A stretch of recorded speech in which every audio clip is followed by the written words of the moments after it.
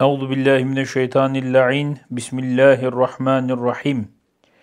Efendim Cenab-ı Hakk'ın ismi şerifleri ile büyük nimetlere, maddi manevi çok büyük nimetlere kavuşacağımız bir günlük virtten bahsetmek istiyoruz. Tabi 21 gün devam edilsin.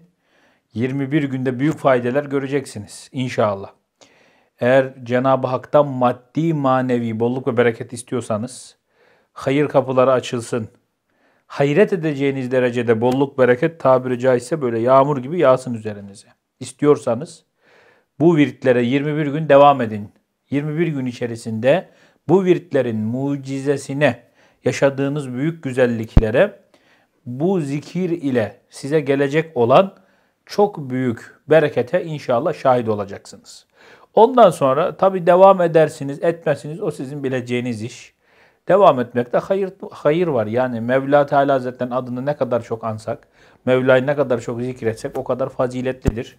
Bunun için geldik yeryüzüne, bunun için gönderildik. İşimiz ibadet, zikir, başka bir işimiz yok yani. Mevla Teala Hazretleri de zikirleriyle bize derman ikram ediyor. Zikirleriyle bize büyük nimetler ihsan ediyor. Yani Kur'an-ı Azimüşşan'da öyle ayetler indiriyoruz ki diyor, inananlara şifa var, rahmet var. Allah'ın zikrinde, Kur'an-ı Kerim'de Allah'ın isimlerini zikretmekte gerçekten büyük fazilet var yani. Rabbimiz bir şifa ve rahmet kaynağı diyor ayeti kerimede. Rabbim inşallah bu şifa ve rahmet kaynağından istifade edenlerden etsin bizleri.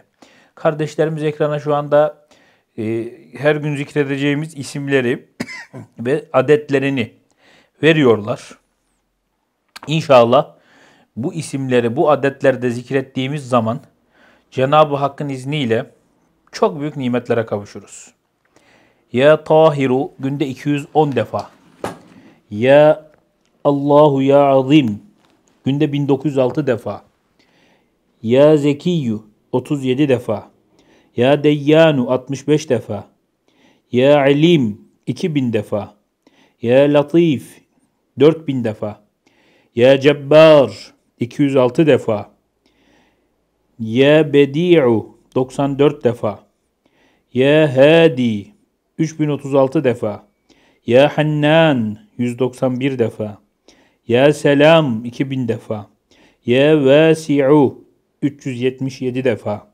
Ya Halim 3000 defa. Ya Kafi 4000 defa. Ya Maliku 4000 defa.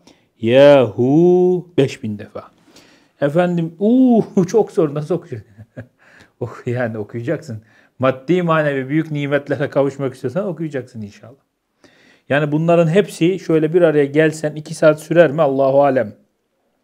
Biraz o zikri yapma hızına göre de değişir ama bir dizi kaç saat sürüyor abi? İki saat, üç saat değil mi? Ne çabuk bitti ya. Hiç anlamadık diyor ya.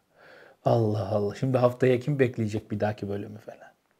Film dizi izlerken 3 saat bile böyle su gibi geçiyor ama işte zikire gelince 3 saat sürmez.